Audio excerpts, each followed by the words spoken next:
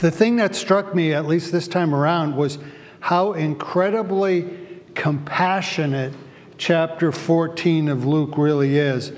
Jesus begins with God willing to heal, uh, even on the Sabbath.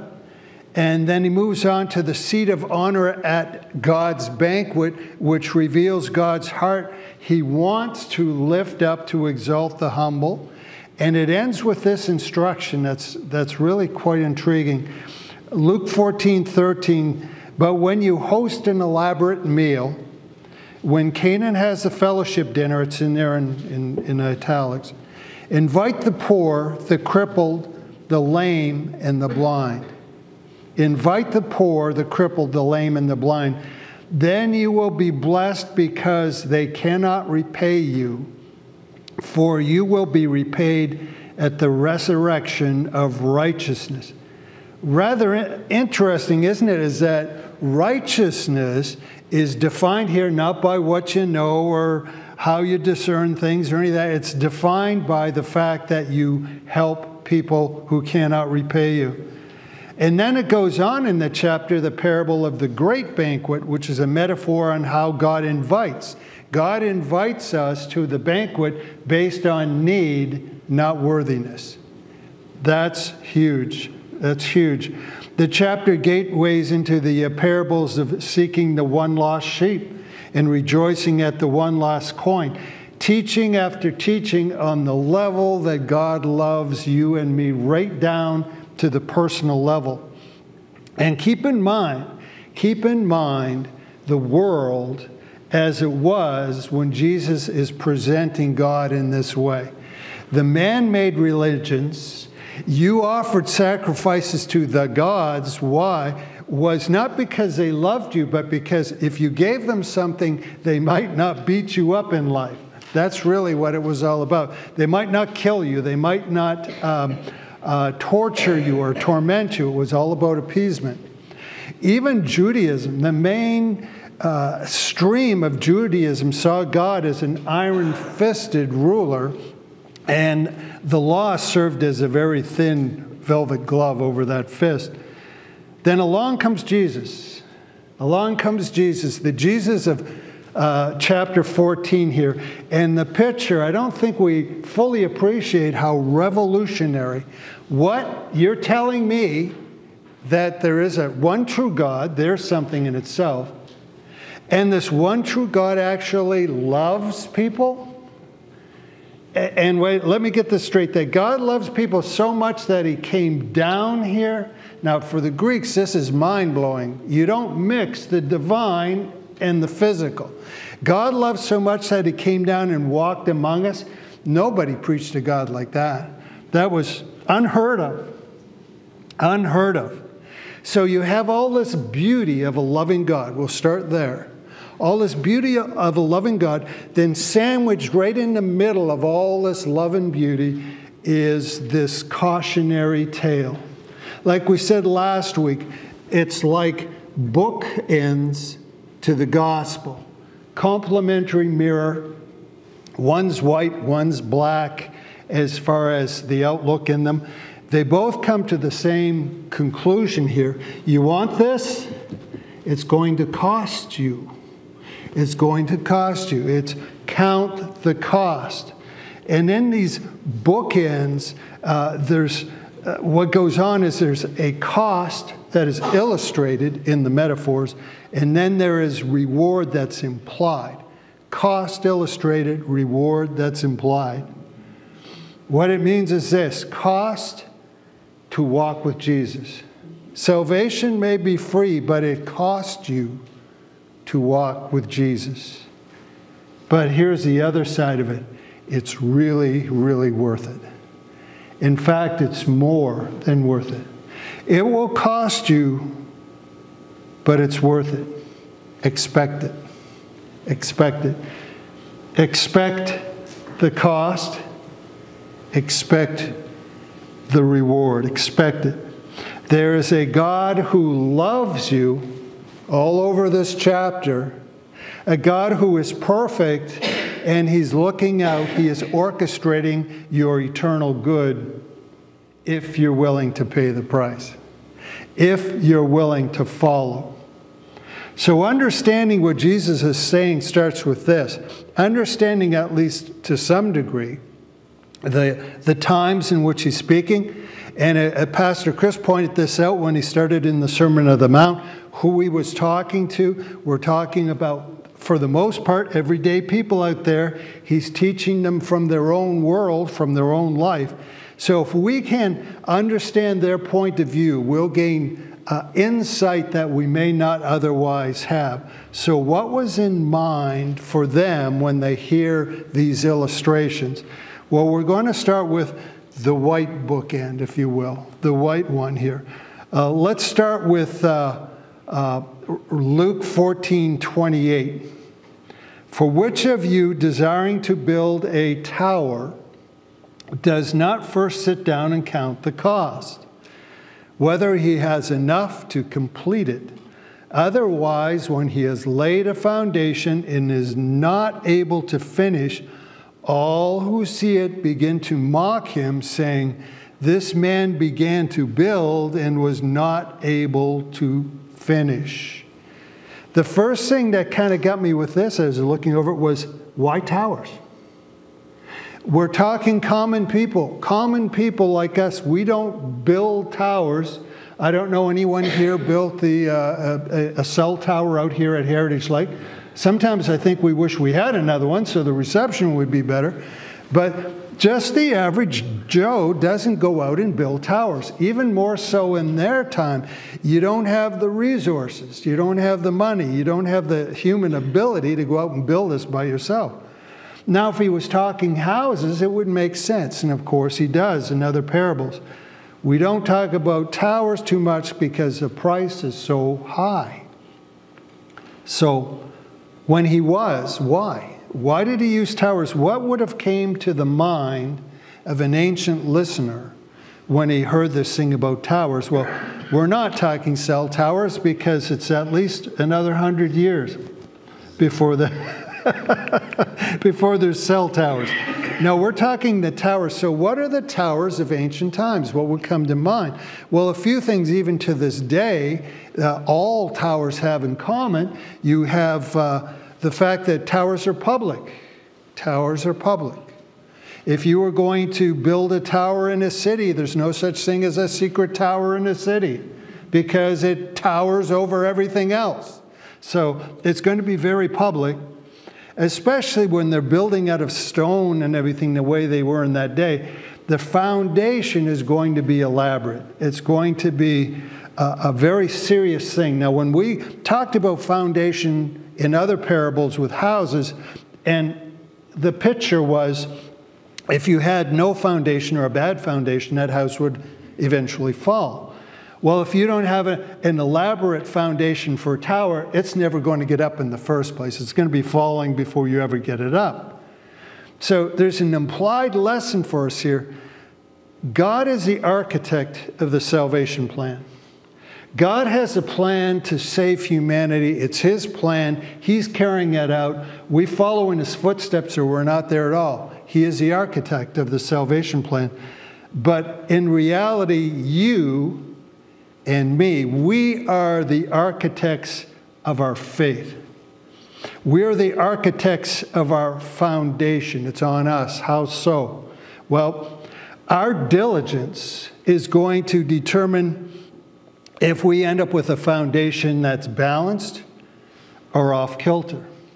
I'll give you a prime example. Chris, Pastor Chris came up, he talked about a discipleship prayer circle thing going on on Fridays that's coming up. We're there or we're not there. Uh, we'll, uh, in our doing, we'll either have a foundation that's level or it's slanted, that it's complete or it's got all kinds of major gaps in it. Uh, it'll be where we spend a lot of time absorbing biblical truth, not just reading your Bible that's not how it's done. It's absorbing and owning the truth that's in there. How deeply we do that, that's on us, that's on you and me. Uh, how much we allow ourselves to be discipled or how much we stubbornly refuse to be discipled, That's not on God. He's provided the material, He's provided the opportunity. That's on us. We are the architects of that foundation of our own faith. The implication in the parable is this builder gets off to a good start. He is building that good foundation that we're talking about. He puts in the effort, and people notice. People notice that. Do you know anyone in that that man they were kind of not a very nice person or uh, not a very spiritual person, not a very godly person, and all of a sudden something changes in them? And you go, "Wow, there's something happening." People notice when you're building a foundation. But the implication in this parable, this building of the towers, we don't know why. Maybe the guy runs out of money. Maybe he runs out of resources. He, he becomes distracted. He becomes misguided, or he's just plain lazy. Who knows? But he abandons the project. And there it is. Everyone can see the foundation that got started. Maybe the first bricks of the tower are starting up and it's not finished. Ever know anyone you'd say, you know, that's kind of how I saw their spiritual life go? They seem to be off to such a good start. And now they're gone. It's a tragic thing, isn't it? It's a tragic thing. Jesus is using the tower to illustrate this danger. So, what can we find out? What can we glean from ancient towers? what is it about them that we want? What is it about them that they were something people desired to build in the first place? Well, you can actually take a bunch of broad categories, and we could say if you were in ancient times and you're thinking of towers, this is the type of thing uh, would come to mind. Well, let me start with you. If I say towers and I say in the Bible, what's the first tower comes to mind to you in the Bible? Babel. Boom! there was just a whole bunch of bees came out there. The Tower of Babel, that's where we start. And the Tower of Babel is so interesting and fits so well that it'll fit a number of the categories that we talked about. And we'll start with this one is status towers. Status towers. When you build a tower, it was often like the Tower of Babel, it was a monument to human pride. Why build a tower to heaven? Because we can. That's what it's all about. It's, it's this monument to our genius of what we're capable of doing. There were other status towers. Kings built towers, they had them on their palaces and, and walls of their cities, all that type of thing. And the thing is, people would live in these type of towers, the, and it literally was a, a status tower. You literally lived above the common people. You were up there, they were down there. So you had these status towers. As a matter of fact, uh, the term ivory tower, ever hear that? People living in their ivory tower?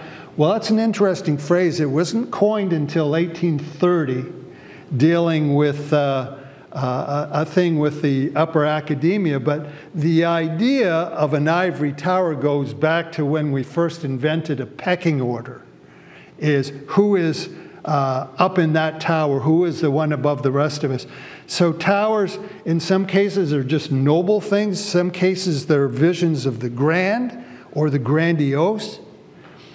And to be a child of God is interesting because it's actually a mix of humility and majesty. Humility and living in a tower, in a way. Humility, of course, to be like Christ. Majesty being above uh, in this way, not who you are, but who loves you, who is working on you. Communication towers. We were talking about cell towers, but you know, uh, the first communication towers go back all the way to 400 BC. And the Greeks invented these. They had them a network along the uh, Aegean Sea. And the towers were in line of sight. So if you had invaders coming, they would light what they called the phryctoriae, these bonfires up on these towers, and you would see them down, you know, all the way down until they knew all the way to Athens that there was an invader coming. The towers go. So it's a pretty amazing thing to think that we had a communication system that worked at the speed of light in 400 BC. Gave one message, but it was pretty interesting. Communication. Man, if we just communicated. I can't remember the French philosopher who said that it is impossible to, to uh, hate someone you understand. And it's true, communication allows us to understand. When we understand, we can coordinate. And when we can coordinate, that cultivates unity. And one of the benchmarks of the biblical church is unity. If there's no unity, it's not really a biblical church. So, towers have the ability to join us together, which fits in kind of with the next one. There's utility towers. A prime example of that would be the Tower of the Flock. If you ever get a chance to go over to Israel, you may see the remains of, the, of this one, Migdal Edar. Mid, Migdal Edar. And I can't say that fast three times. But all the same, this tower, it uh, was actually a, a, a sanctified building of David's way back in the day but it was turned into a watchtower for the temple pastures uh, around Bethlehem. And, and the idea, Kathy was proactive today. She gave me water before I ever get up here. So it's just painful to watch a choking pastor, I understand. But they turned it into a shepherd tower and how it worked is Bethlehem, these large tracts of land with all the temple sheep, the ones that would be used in sacrifice and such, they would watch over them and they would have the shepherds on the ground, but then they would have that fellow who was designated to be up in the tower who could see the whole area. And you can see how that would work. He'd be the first to see uh, predators coming or to see that sheep that was straying off, and then he could let people know on the ground. So let's try this. Let's say we're the shepherds in Jerusalem, the, the priest shepherds, and we allocate someone, he's the observer guy in the tower. What would your qualifications be if you say, who should be up in that tower? What would you be looking for? Not blind. A blind observer is not very good. As a matter of fact, I'll one up on that, Pastor Chris. I would say, not only that, I would look and say, who in here has the best eyesight? And when you think of that, you're gifted. That's not something you work out, you're gifted with that. So the fellow with this gift of exceptional eyesight would be the one who should be in the tower. Now, it sounds like, you know, that's that's quite an honor in a way, but it's also an incredible position of accountability. Because if the wolves come out and get some of those sheep, who's the first guy who's going to get blamed? The guy in the tower. It's a perfect metaphor of how the whole Bible, or at least the New Testament church, involves biblically. Uh, we have leading elders and uh, they're referred to as shepherds and overseers. And that's understood from this. Even the word pastor comes from that. And like those Bethlehem shepherds, these individuals are called and uh, gifted by God, or they should be, that they're up there watching in the tower. They're supposed to be the people with the eyesight and the insight, and they are accountable. One of the worst things that can ever happen is having somebody up in the tower who is blind. You want someone up there who sees. But the guys who are working their own jobs, because all these shepherds are necessary, working their own jobs in the pasture, they have their accountability, but also accountability to say, hey, if the guy in the tower sees something, I better pay attention to what he sees up there it's a beautiful metaphor what's going on. So we have the utility towers, and of course, we have military towers, both defensive and offensive military towers. Defensive towers, let me throw that up. Where would defensive towers be in the the ancient world?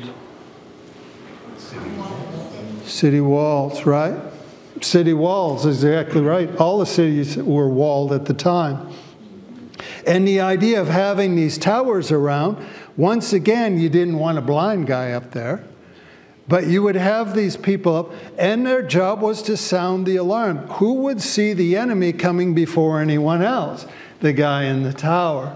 And that might make the difference between the city being prepared and falling to some terrible enemy. Being a watchman in the city towers was a crucial position. Whoever we look at in there, they were to see what others were yet to see. In the Old Testament, the prophets fit in this. As a matter of fact, Habakkuk 2:1 says this. Habakkuk's an interesting book. It said that of all the prophets, this is the only guy who actually questioned God as far as he was willing to argue with God, and God would argue back. In fact, um, God saw honor in, in the way he did this. But anyway, verse 1 from uh, chapter 2 I will stand at my watch post, I will remain stationed on the city wall, I will keep watching so I can see what he says to me. Really interesting. Not so much in this case looking for the enemy, but looking for the answer that's going to come back from God to his question. When he counters my argument, he expects it and can know I should answer when he counters my argument. The answer from God does come to Habakkuk in a vision, reveals the coming invasion and the ultimate fall of Babylon. And he speaks of the power of the divine warrior, who the prophet calls, quote, the joy of my salvation. Hmm, I wonder who he was thinking of there. So you have these defensive towers looking out for the enemy. Then you have offensive towers Romans were big on this one. You have siege towers. And what's the purpose of a siege tower? It puts you eye to eye with those guys on the wall. And it's this potent tool where you can tear down the enemy's stronghold. Everybody knew this. There were defensive towers that dealt with one form of enemy, and there were offensive towers that dealt with another kind of enemy. The defensive dealt with the enemy without. Who is the enemy without? I'll stop for a drink. Who is the enemy outside of us? What did you say, Paula Pam? Anybody who's not us. Welcome to the world. There we go. Pastor Chris was just talking about that in Sunday school. The enemy without is we do not battle against principalities on earth, but those in spiritual places. Dark things, dark rulers in dark places and dominion. Our outside foe is Satan. Our outside foe is the dark realm. Let's try this one then. Who's the enemy within?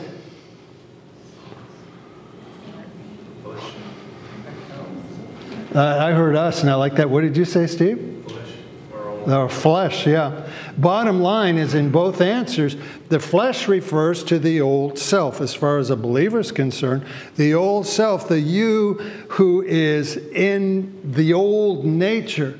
We have an enemy without, and sometimes we blame the enemy without when we're actually dealing with the enemy within.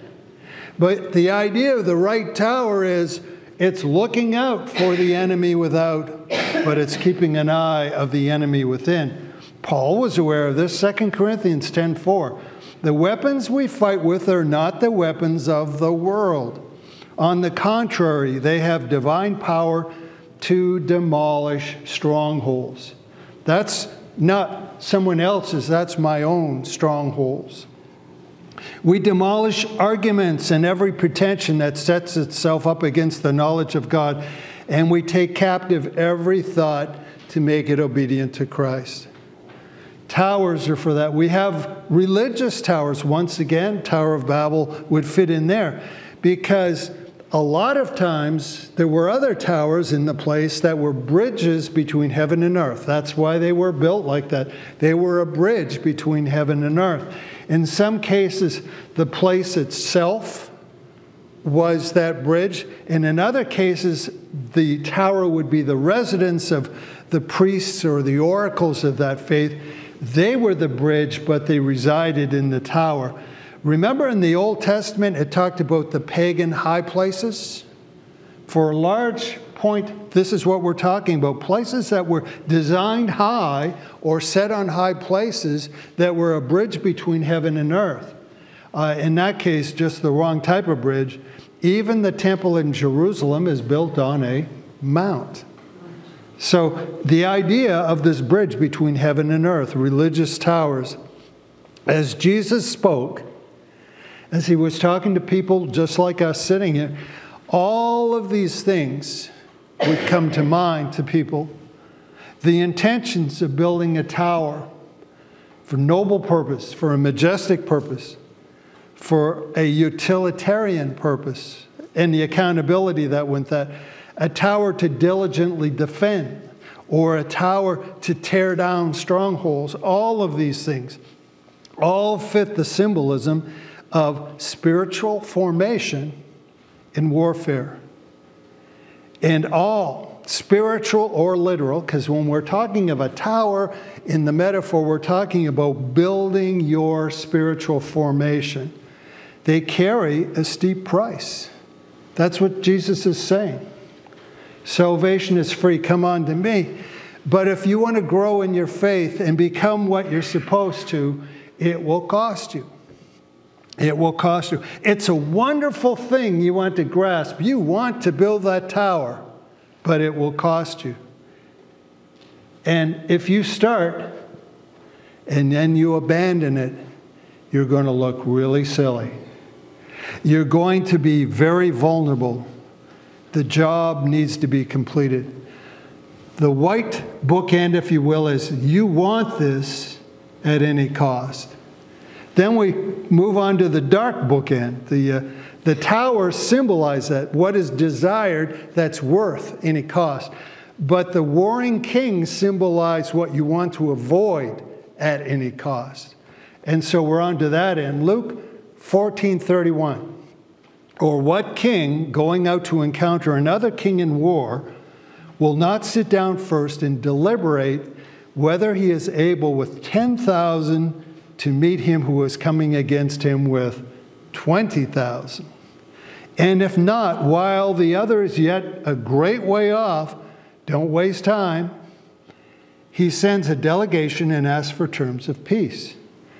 Now, we've got to go back into the ancient mindset. What was the specter of war? What did it mean in the ancient world?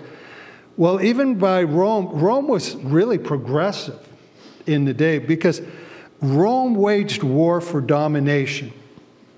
The empires that were before them waged war for obliteration. If we look at the empires like the Assyrians, legendary, brutal, or the Babylonians, they didn't conquer another culture to enforce dominance. What they did was exterminate. They reduced it to nothing. When northern Israel fell to the Assyrians, there were no people left. That's a whole other story, and we could get into Samaria on that one. But all the people who were legitimate Hebrew people at the time were killed in horrific ways. The few that remained were dispersed uh, into other cultures. Why? So that no trace of their culture would remain. A king's wrath in that time would mean everything you knew would disappear. If you went to war with a superior king, everything you knew would disappear. Pretty ugly stuff. Let's go back to a thought we had earlier in this. You are the lesser king. I am the lesser king or queen. You are king or queen of your life. God has allowed it. He's given you sovereignty over your choices. You don't have to be in here this morning. You don't have to be listening online. God's not going to make you do that. It's your choice to do it or not to do it. And so we live in this illusion. We're under control. Everybody wants to be under control. We understand that. But what happens when forces greater than ourselves come? Can you control whether you get cancer or not? Well, maybe to a little tiny degree. Can you control when there's some terrible catastrophe that happens through nature some other way? No. Can you control the will of God? If God determines something, can you control that?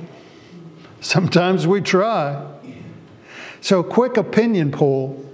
If in this part of the parable, if we're the lesser king, who's the greater king? Okay. Yeah, all right, all right. Bing, bing. I've just had to have some, uh, we had to catch Jennifer between drinks, between sips. Okay, oh, you're definitely awake. And then Paul is throwing, but she's a long way off. We need to build those towers with the light signals, Paul. I can hear you way over there.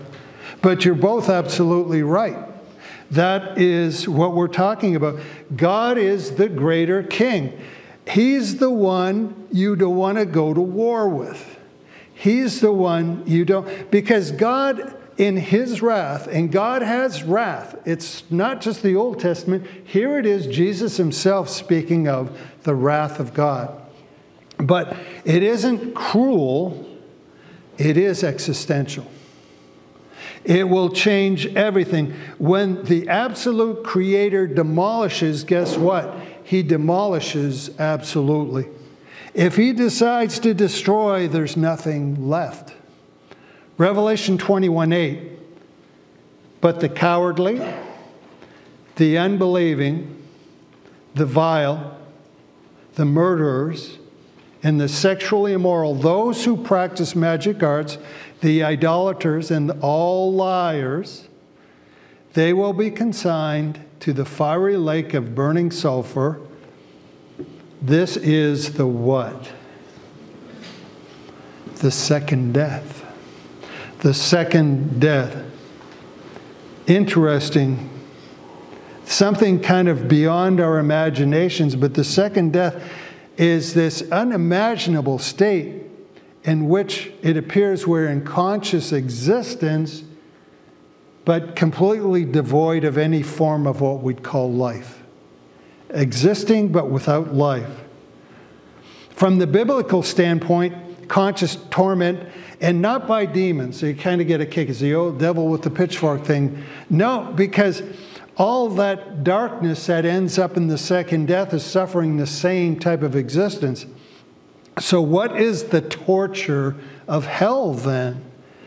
You know, the analogy, the only thing as I look at the whole thing that kind of came to me a little bit is an amputee with phantom pain is there's that arm or leg that's gone, and still somehow you feel excruciating pain with something that's no longer there. Because, in effect, everyone who is in the second death has been amputated, life has been amputated. Somehow existence is there, but life has been amputated.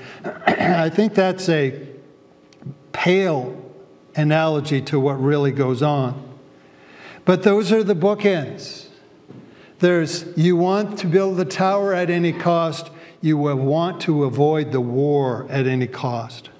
There's a, a great passage, Jesus says, where he kind of combines both things. And uh, Matthew 10 27, uh, it starts with, What I tell you in the dark, speak in the daylight. What is whispered in your ear, proclaim from the roofs. Well, there's the tower. Do not be afraid of those who will kill the body, but cannot kill the soul. Rather, be afraid of the one who can destroy both soul and body in hell. Wow, there's an interesting word. Actually, we come with two Greek words uh, in the New Testament that tend to get interchanged used with the word hell. We have the word Sheol, that's kind of borrowed from the Old, the Old Testament concept the grave, the place of the underworld, it's uh, the realm of the dead. But it's the second word that's the real kicker. And it goes back into ancient history in Israel too. See, outside the city walls of Jerusalem, um, at one time when they're at the lowest point of the, their corruption, if you will, they built a large bronze statue of a god bull. And it stood there uh, above the valley with its arms outstretched like this.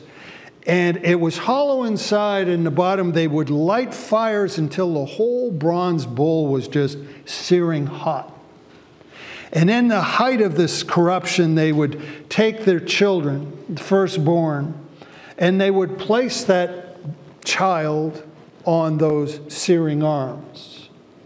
And as a child would be screaming, they would sing very, very loudly whatever the pagan uh, chants were at the time, so they couldn't hear the cries. And then the child would roll off those arms and fall into the fires below. Later, when Israel reformed from this, it, they saw it now as such a reprehensible practice that they refused to do anything with this land except burn the city refuse there. It was a vile and a putrid place. And the Greek name for it is Gehenna, but the actual name from the ancient Hebrew is Gai Ben Hinnom. Gai Ben Hinnom, which means the valley of the son of Hinnom. And that name became synonymous with misery and damnation. Terrible history to that word. There's where Jesus is coming from. Jesus points out that there are those who will rush headlong into war with God. Once again, Sunday school, that was great. You guys were playing and touching into this effect that we live in a world that is very, very quick to rush headlong into war with God. And it's a tragically foolish war because it is a war that God never wanted and we can never win.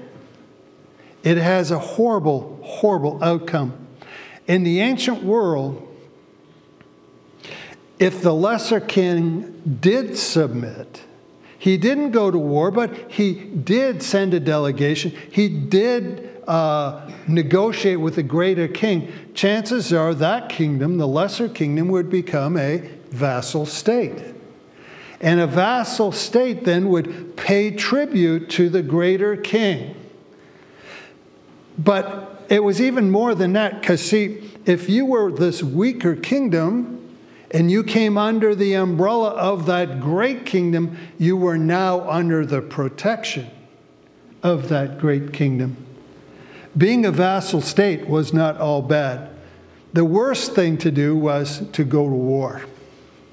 To go to war with something so much more powerful than you are. Now, that's just culture to culture. What we're talking about, the stakes are way higher. Because we're not talking about just a culture. We're not even talking about your entire life, which is a vapor, uh, just, you know, a blade of grass here and then gone. We're talking about your eternal life. We're talking about eternal life. Pursue peace at any cost. Pursue peace at any cost. Avoid the wrath at any cost. There are the bookends. There is a tower of spiritual formation for you and me, it is worth having at any cost. White bookend to the gospel. There is a wrath, there is a war that you cannot win, and it gets really, really ugly. You want to avoid that war with that more powerful king at any cost. Count the cost. Whether it be avoiding, or whether it be attaining, count the cost. There is a cost, white or black, there is a cost expected. There is a reward expected. There is a damnation expected. Now, here's the thing about paying the cost you don't pay the cost to grow. Actually, you grow by paying the cost. Sometimes it's referred to as you being the gold, being refined in the fire. That's what's going on in this paying of the cost. It cost to be refined. Expect it. Let me leave you with a challenge this morning. This is one of those internal looking things. As you navigate your life, I have no idea when you leave here where you're going, what you're doing how you will think, how you will feel, where your mind will be. But as you leave here and you continue on with your life, does your heart, does your mindset, do your choices look like you're expecting this? Do you live like you expect what Jesus is telling us we better expect? The cost to grow because it's really, really worth it. The cost to avoid what can be avoided because it's really, really worth it. Count the cost.